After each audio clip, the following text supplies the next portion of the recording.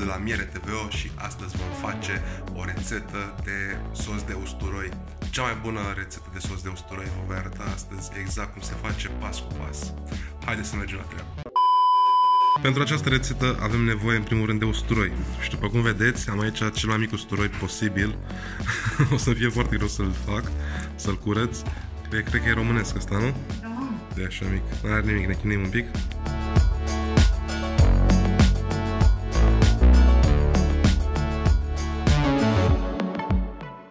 2000 years later. După 2000 de ani am reușit să termin două căpățâni de usturoi.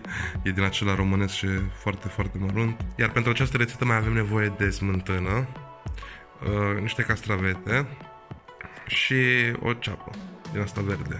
O să vă arăt imediat cum pregătesc uh, rețeta, o să dureze foarte puțin. Acum vom băga usturoi în pio și vom uh, face niște mușchi, pentru că aici la țară nu avem uh, aparat din ăla de presat. Acum vom pune niște sare aici în pio, pentru a ieși zeama din el așa.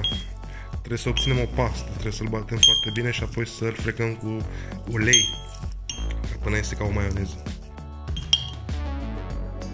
Hai mai bate, mai trebuie. Până bate maica mea acolo în piuă, eu trebuie să dau castraveții ăștia pe răzătoare. Vedeți, am curățat așa, am mai lăsat și din partea asta verde din coajă și voi da pe răzătoarea mare. Bun, așa arată castraveții dați pe răzătoare. Acum îi vom scurge foarte bine de apă. Pentru că nu vrem să se facă foarte apos sosul. Vrem un sos tare, da? Un sos care o să fie mult mai bun decât uh, cel de la KFC. Uitați câtă zeamă a rămas de la doi castraveți mici. Vedeți? Toată zeama asta intra în sos și nu ne dorim lucrul ăsta. Vom toca și niște ceapă foarte, foarte mărunt. Bine, asta este opțională pentru că o vom presăra pe deasupra pentru puțină culoare, așa. Iar acum adăugăm câte puțin ulei și îl frecăm foarte bine până devine ca o maioneză. Apoi punem uh, smântâna, iar îl omogenizăm foarte bine.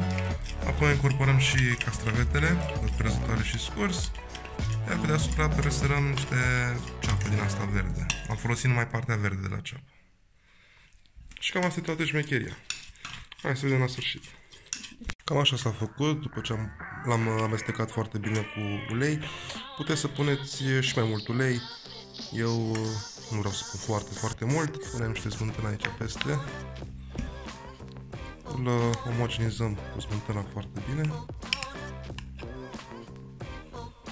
Am amestecat foarte bine, vedeți s-a omogenizat, până la urmă am pus tot pachetul de 400 de grame de smântână. Și acum trebuie să punem asta. Ia să vedem dacă ajunge atâta. Îl amestecăm iarăși foarte bine. Castravetele o să-i ofere un gust mai fresh. Cam așa arată după ce l-am omogenizat și cu castravetele. Și acum haideți să punem niște ceapă din asta. Să presăm așa pe deasupra să aibă un aspect mai fain. Uh-huh. Chiar arată mișto.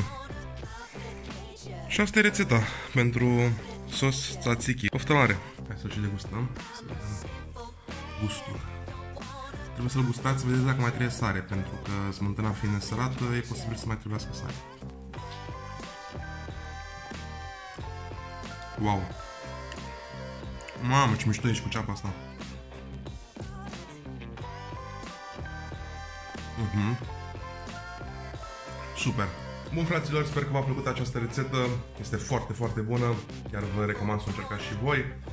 Merge foarte bine cu cartofi prăjiți și cu ceafă sau orice fel de carne la grătar.